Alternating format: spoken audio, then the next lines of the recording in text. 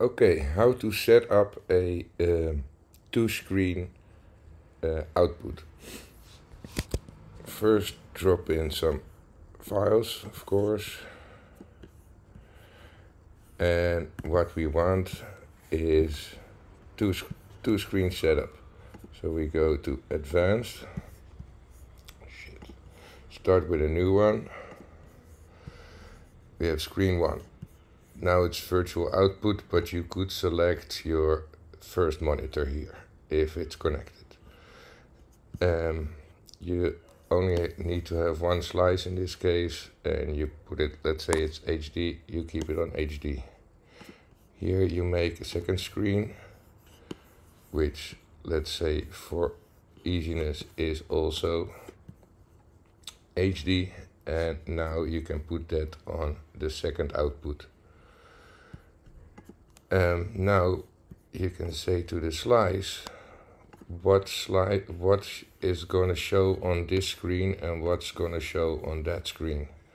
So on this slice you can say I want to show layer 1 on this slice and I want to show layer 2 on this slice. That's the most easy simplest explanation but what you can do is make a group new group. And let's say we give this group two layers and let's make an extra layer here. And let's make a new group and put this one in there as well. So now we have group one and group two. Uh, you can now go back to advanced and select for slice 1 you can select group 2 or 1 and for the other one group 2 save and now if you play something on this one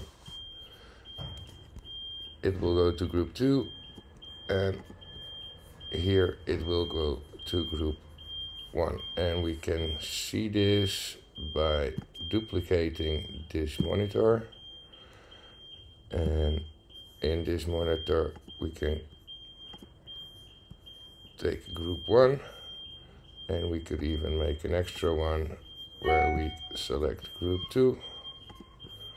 So here you can see what outputs on group one and this is what outputs on group two.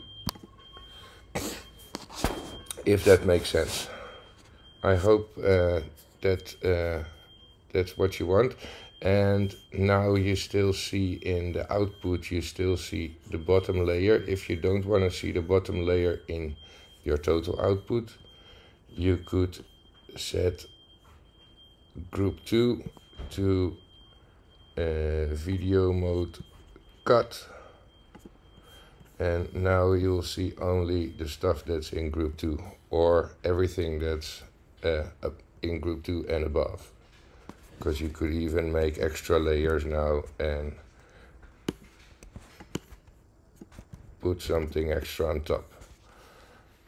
But you won't see lay the bottom layer anymore. I hope this uh, is clear enough. If you have any questions let me know